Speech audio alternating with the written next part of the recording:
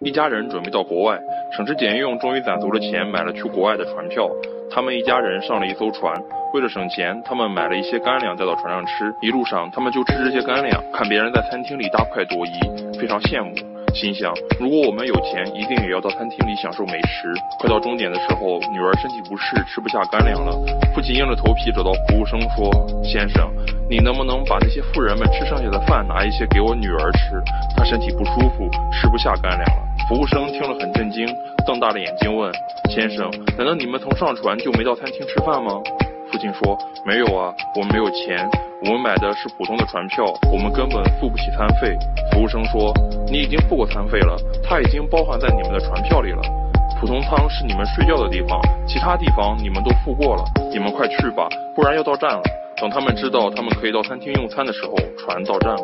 所以在我们的现实中，贫不可怕，可怕的是贫的思维，因为贫造成畏手畏脚，失去自信，失去探索美好生活的勇气和突破自我、不断前进的动力。